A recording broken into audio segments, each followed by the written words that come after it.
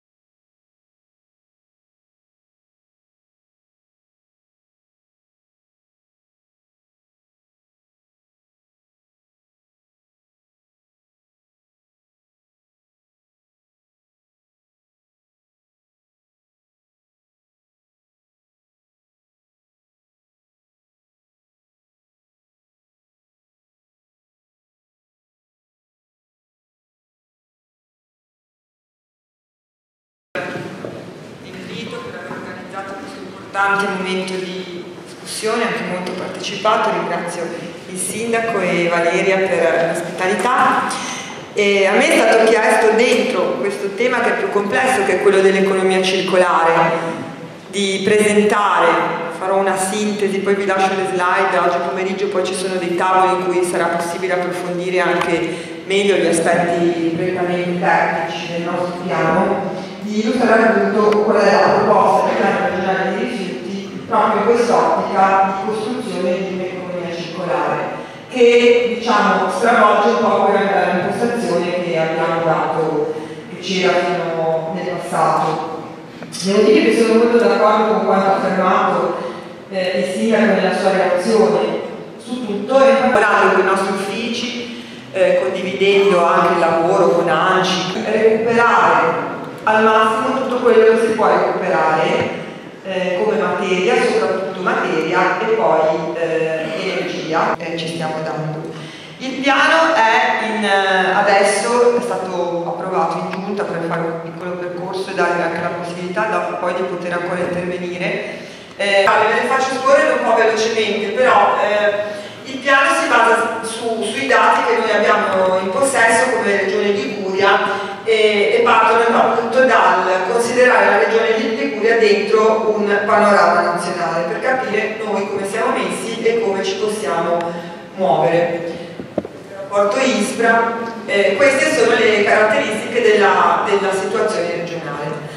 Eh, abbiamo puntato moltissimo su quelle che sono le criticità della situazione esistente per nel piano cercare di superarle. Io dico anche che forse le criticità da cui partiamo possono diventare un'occasione per costruire un piano davvero innovativo, forse anche di più rispetto a regioni che oggi sono più avanti di noi nel ciclo dei rifiuti, anche soprattutto sulla popolazione equivalente eh, molto significativi durante la stagione estiva e non solo. L'altro aspetto critico su cui dobbiamo partire, col piano, da cui dobbiamo partire col piano cerchiamo di superare, ma qui con alcune difficoltà, secondo me è una strada corretta